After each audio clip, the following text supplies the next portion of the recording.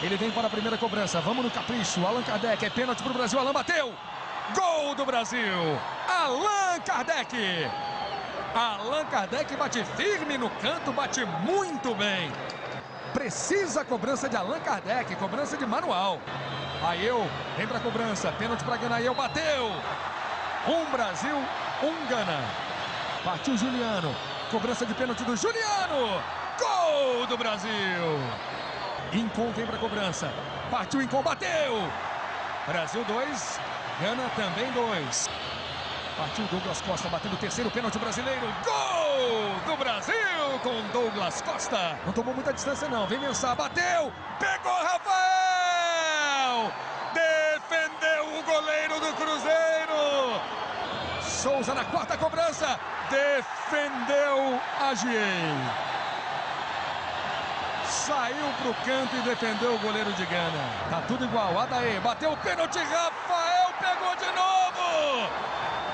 Defendeu o goleiro brasileiro Rafael. Partiu o Maicon, olhou para o goleiro, bateu mal, bateu para fora. Bateu para fora. Partiu adiar, bateu o pênalti. Gana empata a série. Alex Teixeira bate o pênalti para a seleção brasileira e defendeu a Giei de novo. Ele fez a mesma coisa, ele parte para o campo caminhando em cima da linha. O torcedor brasileiro conta com Rafael. Padu vem para a cobrança, bateu. Gana, campeã do mundo sub-20.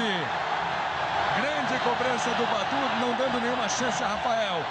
Gana conquista finalmente o Mundial Sub-20 de forma heróica, com a menos desde os 37 do primeiro tempo, bate a seleção brasileira nos pênaltis. Festa de Gana. Gana derrotando o Brasil nos pênaltis. Alex Teixeira perdeu o último. Rogério cumprimenta todos os jogadores brasileiros. Seria cumprimentada também a seleção de Gana pelo belo Mundial que fez. É importante que a gente saiba reconhecer os meninos do Brasil que foram para esse Mundial e mostraram futebol, tiveram capacidade técnica para chegar